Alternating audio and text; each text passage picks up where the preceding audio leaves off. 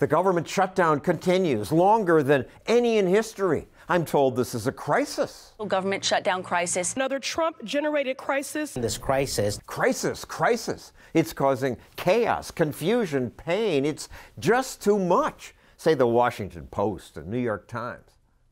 But wait a second. Looking around America,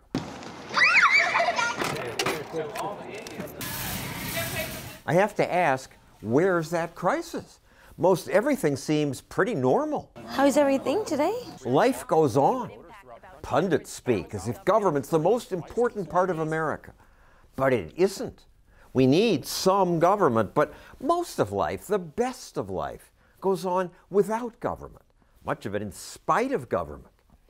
Of course, if you're one of the 800,000 federal workers who aren't being paid, the shutdown is a big deal. Are you freaking kidding me again? Seriously? Pay the workers! The furloughed workers get a lot of attention.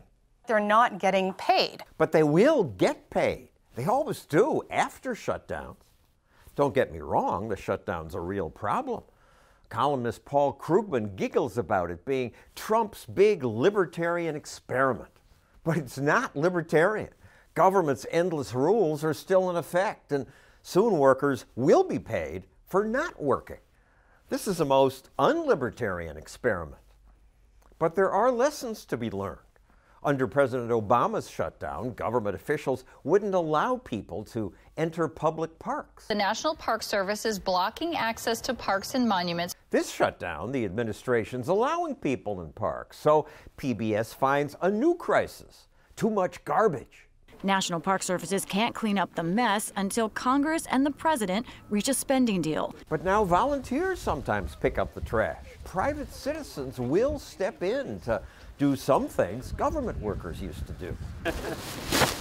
the Washington Post finds another problem. Farmers aren't receiving government support checks. But why do farmers even get support checks? The purpose of the subsidy was to protect the food supply, but most fruit and vegetable farmers don't get subsidies, and they do fine. There's no shortage of tangerines, pears, or broccoli. Grain, cotton, and corn farmers could suck it up and do fine too.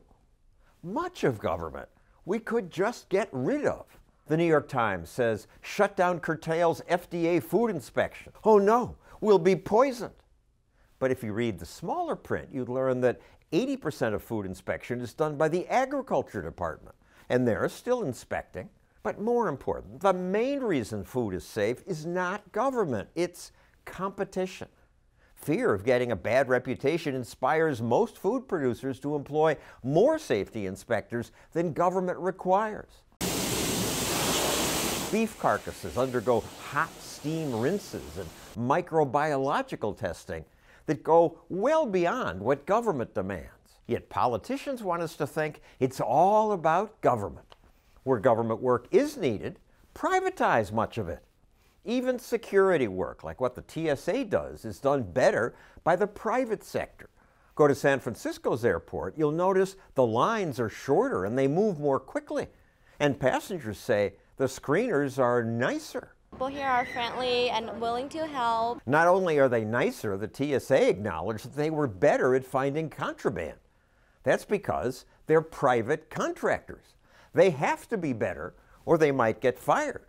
Government never fires itself. We shouldn't shut down the government over a dispute. And you want to shut it down. I, you no, keep no, talking no, about it. The last time, Chuck, you shut it down. No, no, no. Finally, it's absurd that this shutdown is supposedly about appropriating $5.7 billion for part of a border wall.